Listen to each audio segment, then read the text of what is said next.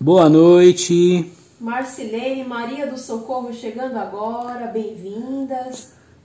Vamos continuando aqui, pessoal. Vamos falar então da Angrecum sesquipedale. Gente, Mais hoje conhecida como a Wanda Dama, Dama da, da noite. Noite. Isso aí. Pessoal, hoje eu trouxe algumas fotos diferentes da floração, tá? Porque, pra ser sincero, essa foto da floração aqui, ela não faz muito jus, não é? Ela é uma foto meio... tá meio É chinfrinha. porque ela dá mais flores. Dá mais flores, exatamente. Então, o né? que, que eu fiz hoje, gente? Eu, eu tava pensando nisso agora à tarde. Eu falei, eu vou pegar uma foto que tenha mais é, coerência com a planta, tá? Ela tem uma floração super clara. Pessoal, eu queria que vocês prestassem atenção lindo. numa coisa ne- nessa foto aqui. É, eu já prestei. A história que eu já conto, já tem uns 10 anos que eu conto essa mesma história, tá? Que que prestei você ia falar? atenção na folha manchada e cortada. Ah, viu? sim, também. O vegetal castigado, mas ela floresce mesmo assim. O- é, isso aí que a Débora tá falando é importante, Ó, tá? presta atenção lá na foto. Sim, eu vi isso também. É, ela é uma planta, gente, que para poder vir uma floração legal, ela precisa de muita luminosidade. E, consequentemente, isso com o passar dos anos, deixa o vegetal um pouco mais castigado, tá? É isso que a Débora está comentando. Pessoal, vamos lá rapidinho, ó. Preste atenção nessa foto. Vocês estão vendo um tubinho comprido que ela tem por trás da folha lá, por trás da flor? Um tubinho verde que vai até lá embaixo? Quem estiver vendo, marca aí no, no, no chat, tá bom? Parece uma estrela cadente, a Ruth Rocha falou. Verdade, coisa mais linda. Gente, como que pode, né? Uhum. Só Darwin pra explicar. É. ai, ai. Vocês estão vendo, né, gente? Um tubinho aqui bem comprido, ó. Hoje eu vou contar a história. Faz tempo que eu não conto a história. Tá vendo? Tá bem aqui, ó. História da carochinha. História né? da carochinha. Tá? Você tá vendo esse tubinho aí? Gente, olha só que coisa fantástica, tá? Essa planta, ela é uma planta, é, se eu não me engano, é de Madagascar, tá? Isso. Ela é de Madagascar. O que que acontece? É, Darwin, Charles Darwin, que é o, o cara lá que estudava a evolução das espécies e tal, não sei o que, ele encontrou essa orquídea na natureza, tá? Ela é conhecida também como a orquídea de Darwin, que é o cara que fez, desenvolveu toda aquela teoria da evolução das espécies lá, um cientista aí de 100 anos atrás, tá? O que que acontece? Olha esse tubo que tem, na verdade, gente, ela é o tubo onde fica a polínia dela de semente. Então o Darwin achou essa planta na natureza e a, a ela fica lá no final desse tubo todo aí. E aí o que, que o Darwin percebeu quando ele encontrou essa planta? Que um inseto normal não conseguiria retirar as políneas para levar para outra planta e fazer a semente, certo? Por exemplo, na catileia, olha só, vamos, vamos já estamos aqui, já vamos. Eu não gosto dessa história? Essa história é muito comprida. É comprida, é maravilhosa essa história. Pessoal, a Fantástico. Angrecum tá na promoção por apenas R$ 39,90. R$ 39,90. Tá vendo, gente? Então aqui na catileia, no labelo, tem a polínia, tá? A, a abelha ela entra aqui no labelo bem na beiradinha e já retira a polínia para poder fazer a semente, tá? No angrecum, o que que acontece, ó? No angrecum ele vai ficar lá no fundo daquele tubinho, tá?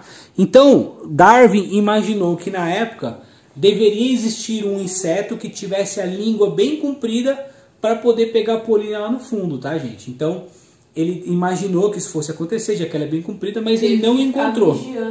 Ele não encontrou na época a, a tal da, do inseto que tinha essa língua comprida. O cara morreu sem ver o inseto, na verdade. Sério? Sério. Não foi ele que percebeu? Não perceberam. Depois de anos e anos que ele já tinha morrido e tinha chegado a essa conclusão, eles encontraram uma mariposa lá em Madagascar que tem a língua muito comprida. Ela tem 20 centímetros de língua. A língua dela fica enrolada para a língua dela conseguir entrar aqui e lá no fundo do tubinho para retirar a polínia para poder fazer a semente, tá?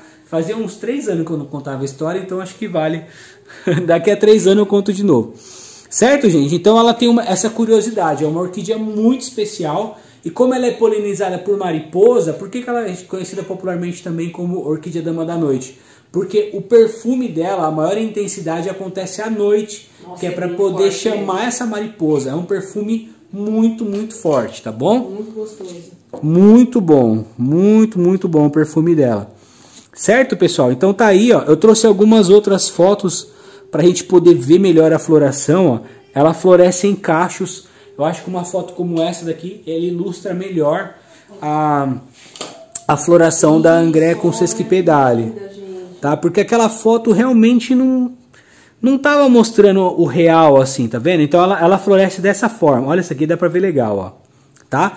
Então é isso aqui que vocês podem esperar da floração da Angré com sesquipedale, tá? Olha aí, gente. Tá vendo? Ó. Olha aí. Cultiva Tá. como vandácea. Você vai cultivar ela como se fosse uma vanda, tá? Bastante luminosidade e ela gosta de bastante umidade, tá? Não é obrigatório cultivar no vaso, você pode cultivar ela com raízes expostas. E depois de ter explicado toda essa história, o vegetal tá aqui, tá? Então tá aí, Angré com sesquipedale, tá? Vai muito bem em cachepô. Vai bem em tronquinho de cachepô. árvore. Ela tem alguns detalhes na folha, tá, gente? Porque é uma planta velha, tá? É uma planta já bem antiga. Ela não tá na primeira floração, já floresceu várias vezes lá no produtor. Ó, tá com haste floral, todas elas estão com haste, tá? E tá por apenas R$ 39,90 essa orquídea aqui toda especial, tá?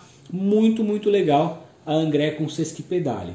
Chegou na sua casa, se quiser pode tirar do vaso e cultivar ela direto pendurada, tá? Vai bem, não tem Falando problema. uma linguagem simples para iniciantes, o que, Tá. que a gente recomenda? Colocar ela num local bem claro, tá? Precisa ser fora de casa, de preferência. É, não pode tomar sol direto, pelo menos nesse momento de adaptação que chegou no novo ambiente, que é a casa de vocês, tá? Pessoal, se possível, reguem ela todos os dias, que ela precisa de muita umidade. E a adubação acho que é um capítulo à parte, assim. Se você quiser colocar um adubo, pode ser o orgânico ou também o foliar. Quem tiver mais experiência pode usar o adubo de liberação lenta, tá bom? É super fácil. Super tranquilo. Pessoal, é, falando sobre adubação, ficou na dúvida, é iniciante, não sabe como fazer? Regra básica: escolhe um adubo próprio para orquídeas e segue a Lê orientação do a fabricante. Escolheu um adubo próprio para orquídeas, seguiu a orientação do fabricante, só alegria, tá bom? Cuidado com as receitas malucas que vocês encontram na internet afora. Certo, pessoal? Então tá aí, Angré com Sesquipedale R$ 39,90 com haste. Todas estão com haste, tá, pessoal? R$ 39,90.